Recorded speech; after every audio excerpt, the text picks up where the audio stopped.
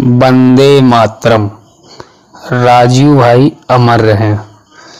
भाइयों, मैं एक बात आप लोगों से शेयर करना चाहता हूँ। मुझे गोविंद भाई द्वारा एक पुस्तक प्राप्त हुआ, जिसका नाम चमत्कारिक तेल, उमेश पांडे जी का। तो उसमें मुझे एक तेल बनाने की विधि मिली।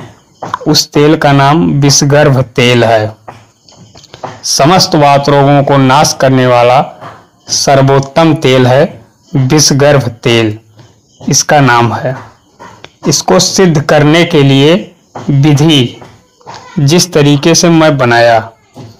तो सबसे पहले पुष्कर मूल, सौंठ, बच, भारंगी, सतावर, मजीठ, हल्दी लहसुन, बायबिडिंग, देवदारू, अश्वगंधा, अजमोद, मिर्च, पीपला मूल, खरेटी गंध प्रसारणी सहजन, गिलोय झाऊबेर हरण, दसमूल, संभालू, मेथी, पाठ कौच पाठ कौच बीज इंद्रायन की जड़, तथा सौंफ। इन सभी को 20-20 ग्राम मात्रा में लिया।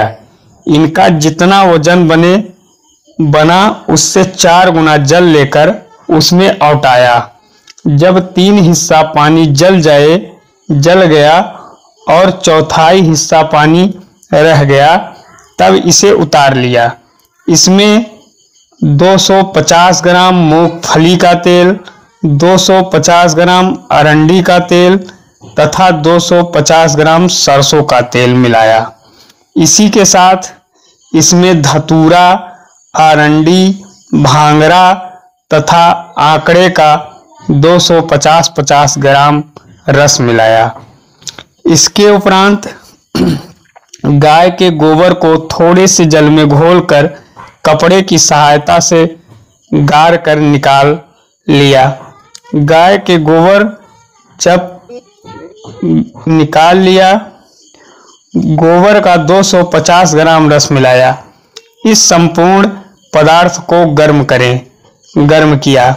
जब संपूर्ण जल तत्व उड़ जाए, उड़ गया, तब यह तेल सिद्ध हो जाता है, सिद्ध हो गया। तत्पश्चात इसे छानकर इसमें हमने 15 ग्राम संखिया मिलाकर रख दिया। यह तेल तैयार है। और इस तेल को बनाने में थोड़ा सा कठिनाई तो है, क्योंकि मैं जो दस मूल इसमें लिखा गया है तो मैं पसाड़ी यहाँ से नहीं लिया था। दस बड़े पेड़ पाँच बड़े पेड़, पाँच छोटे पेड़ से मैंने निकाला था, जैसे आम, महुआ, नीम, बेल, ऐसे करके गोखरू, छोटे पेड़ों में गोखरू, और पुनर्नवा ऐसे ऐसे करके मैं दस मूल अपना बना लिया था। मैं इसी को प्रयोग में लिया था। इस तेल की मालिश करने से मैंने कई लोगों को थोड़ा थोड़ा दिया। इससे चमत्कारिक लाभ हुआ। फिर मैं एक दिन अपने बैग में एक सीसी रखा था तो मुझे कहीं ट्राई करना था उसको तो मैं एक बैग जी थे हमारे बगल में तो उनको मैंने तेल दिया।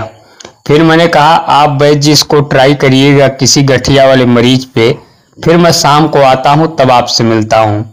मैं जब शाम को आया और वैद्य जी से मिला, वैद्य जी, क्या हाल था तेल का? तो उन्होंने बताया कि एकदम चमत्कारिक तेल है भाई साहब। आप मुझे इसका नुस्खा बता दीजिए, क्योंकि मैं वैद्य का काम करता हूँ, मुझे ये काम आएगा।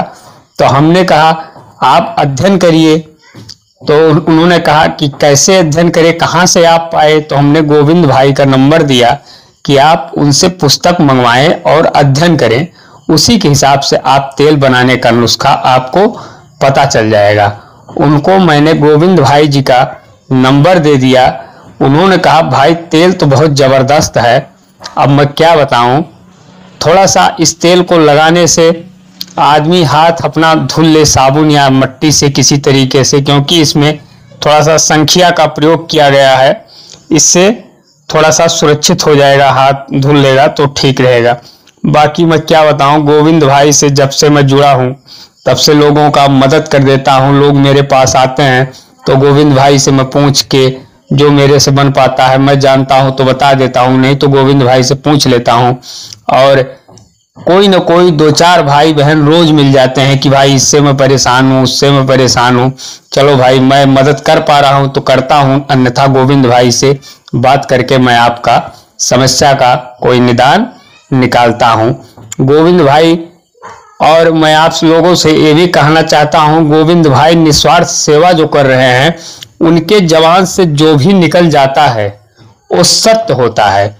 क्योंकि वो निस्वार्थ सेवा कर रहे हैं तो प्रभु ने उनके बातों का, उनके जवान का रक्षा तो करते ही हैं।